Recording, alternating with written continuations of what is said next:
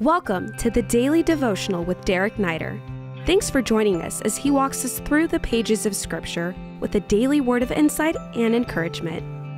Hey, great to be with you today. Uh, what just one of my favorite sections of Scripture. Uh, it might surprise you, you know, as we read it. Um, maybe like top 25, all right? But the Scripture says in verse 1, chapter 22, if you have your Bibles, open up with me today. David departed from there and escaped to the cave of Adullam.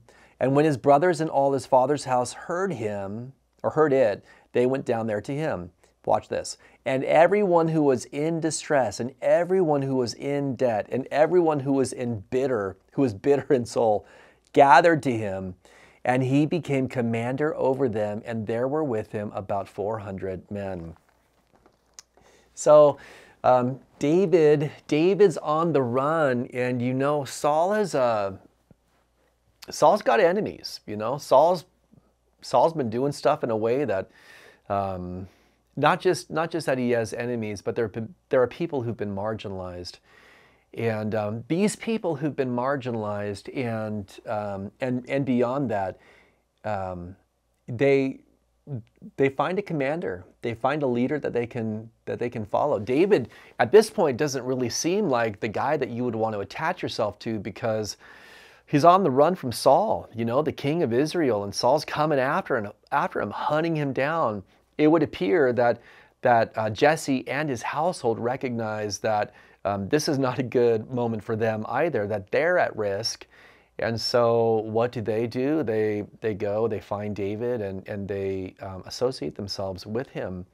But this is like a this is a motley crew. Like this is a crazy group of people. When you're thinking about building a kingdom, or planting a church, you're probably not going to select a bunch of people who were in debt, in distress, um, people who are bitter in soul. Like normally, those are the people um, that you would want to avoid building a kingdom with. Um, but these were individuals. God saw something, right? God saw something that they didn't see. Uh, God saw something that no one else saw. God took you know, the least likely group of people um, that, that, like I said, had been marginalized by the king, maybe deeply offended uh, by him in some way.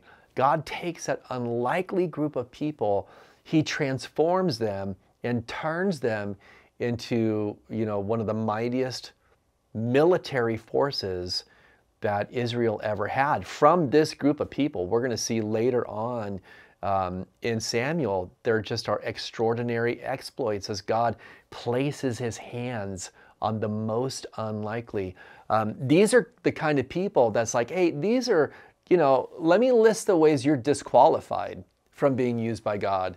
Uh, let me list the ways how your your resume just doesn't even stack up, can't even get you into the door, right? I mean, you're not passing go you're certainly not collecting $200. These are the kind of people that would have just been uh, written off completely. Um, and honestly, would probably be written off today. You know, if uh, it's been said by preachers and pastors over the course of the years, um, if Paul was to give his resume, you know, of who he was before faith in Christ, um, and even afterwards and submit it to you know some of the most sophisticated churches today. It's highly unlikely he would ever even get hired. Um, sometimes i suppose what i'm saying to you today is this uh, that god sees in us what we don't see ourselves. God sees in us what we don't see ourselves. Sometimes the only thing that we see are those things that disqualify us.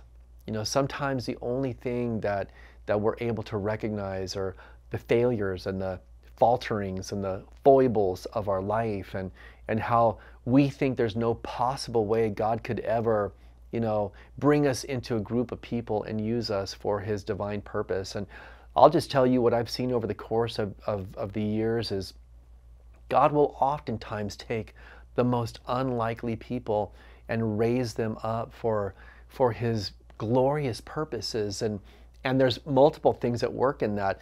Number one, um, he does it for his glory, right? He does it for his glory. At the end of the day, when God does great things through the most unlikely people, everyone knows it certainly is not the person. It could only be God. Um, I think also God uh, does that because those people come with with humility. Those people come with um, you know with a clear-eyed self-evaluation.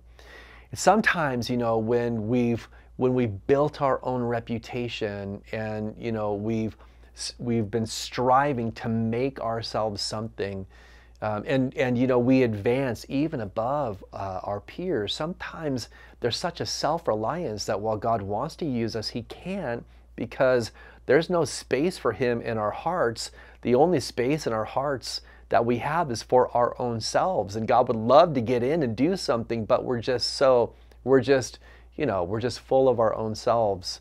And so I think also there's just this aspect of humility and brokenness. And this group of people, this unlikely group of people, you know, they gather together. What do they have? They've got a cave.